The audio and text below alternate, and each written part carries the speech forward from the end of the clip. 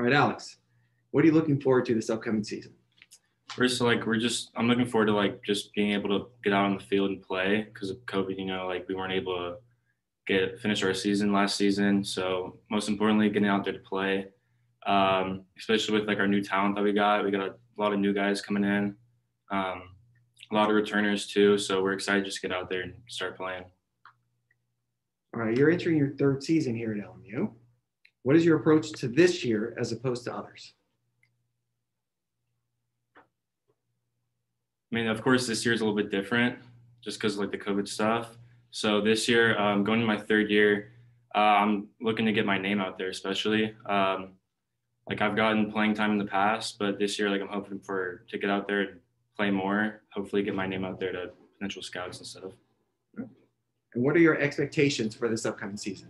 Expectations. Uh, so my expectations for this season are going to be our main goal as a team is to win a super regional because it's never been done before at LMU history. We want to win that, get to the College World Series, and go from there. And with last season being cut short, how excited are you to get back on the field to compete? I'm very excited. Yeah. Um, yeah, I wasn't able to play over summer. I was injured, unfortunately. But so, yeah, now since we're up and going again, I'm really excited to get back out there. All right. And finally, being a veteran leader on this program, what is your approach with the new guys to get them up to speed?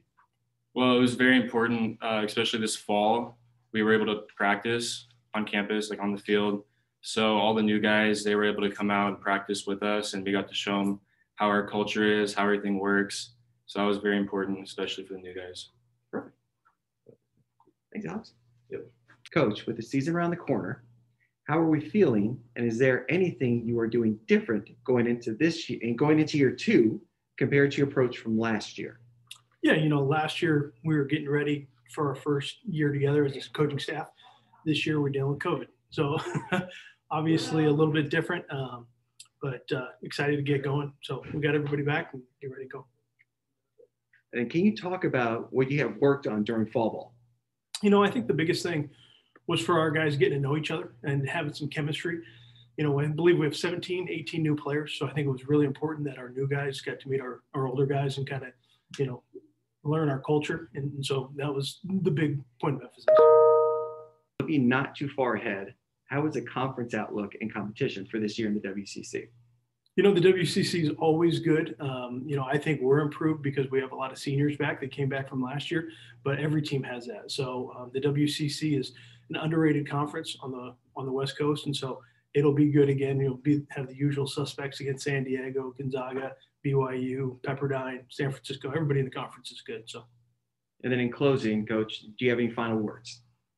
Yeah, I think the key for this year's team is to deal with some adversity and stay positive. I think the teams and the programs that can do that um, as obstacles come, I think those teams are going to have the best chance of being successful. So excited. I'm really excited what our guys have done so far. I'm excited to start playing some games again. Been, been a long time.